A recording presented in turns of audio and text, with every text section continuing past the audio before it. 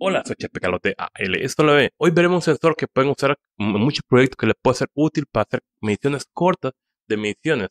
No es perfecto ni exacto, pero nos va a servir para los proyectos de electrónica y robótica.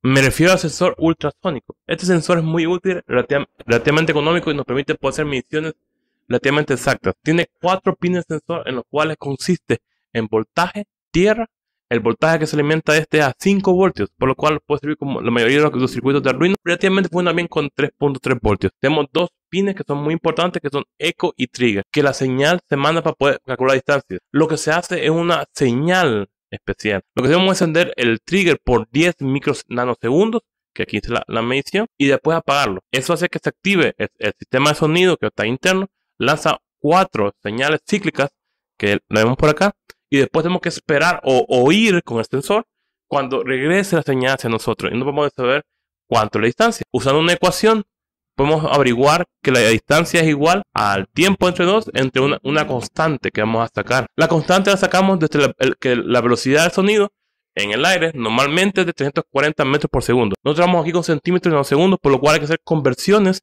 para que podamos llevarlo a esto. Ese sensor es muy útil para hacer diferentes proyectos les va a servir a ustedes para poder hacer su cosa realidad. Veamos cómo se programa esto con Arduino.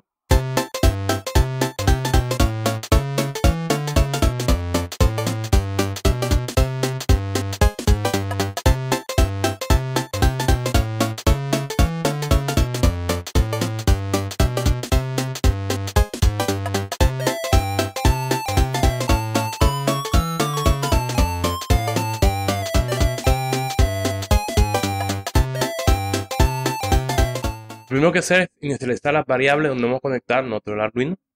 En este caso yo tengo en el pin 6 y 7.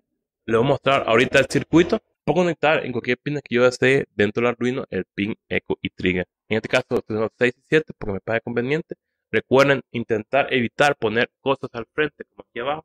Porque el sensor tiene un cono de amplitud. ¿Qué se refiere con cono de amplitud? Y, la amplitud es de 15. Significa que no es directamente recto que mide. Él mide como abriendo poco a poco cada vez y no él tal vez mide algo que no está directamente en su línea de vista y no ve un poquito a la izquierda o a la derecha porque también mide un poquito para abajo y para arriba pero cuando lo pongan no pueden tan a roce contra el piso y lo más lejos posible para que tengan una mejor medición pongo el trigger en, salida y el eco en entrada y pongo el trigger apagado para no dar ni un sonido. Vamos a comunicación serial para hablar desde la computadora al Arduino para poder esta información de la distancia.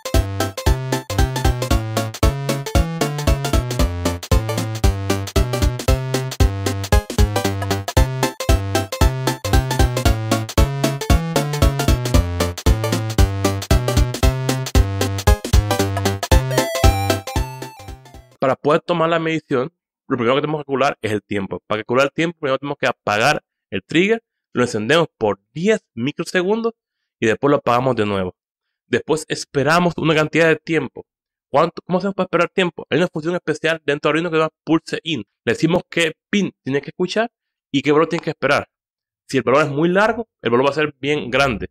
Y si el valor es bien corto, también va a fallar. Por lo cual, este sensor no es bueno cuando está súper, súper, súper cerquita, como 4 centímetros, y tampoco es bueno para, digamos, más de 4 metros. Pero si estamos ahí, ya tendríamos calculado el tiempo.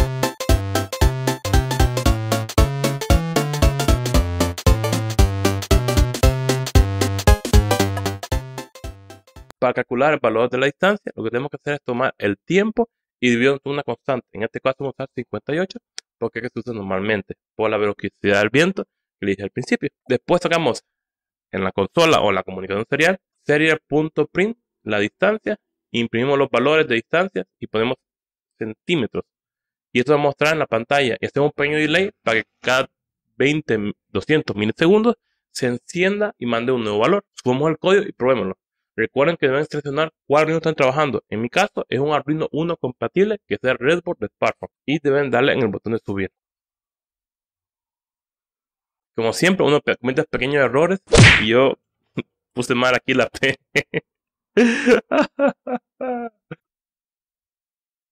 Round 2. Otra P que quiere hacer mayúscula.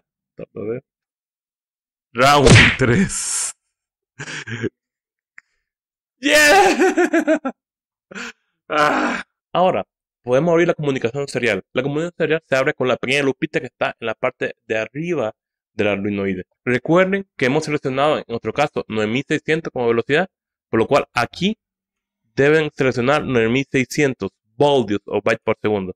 Ahora, el código te empezará a mandar información y si yo pongo la mano enfrente del sensor, me mostrará que cambia el valor y yo puedo empezar a mover mi mano para poder mostrar diferentes valores. El sensor te puede servir para un montón de cosas, para saber cuando alguien pasa enfrente, para poder medir una velocidad de un objeto en, movimiento y un montón de cosas geniales. Espero que este video les haya servido.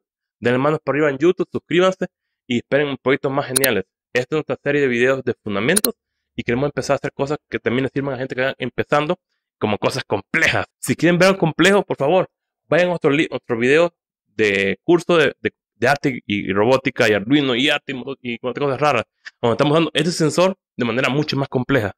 Soy Chepe Carlos de ALTV. Nos vemos en el próximo video. ¡Adiós!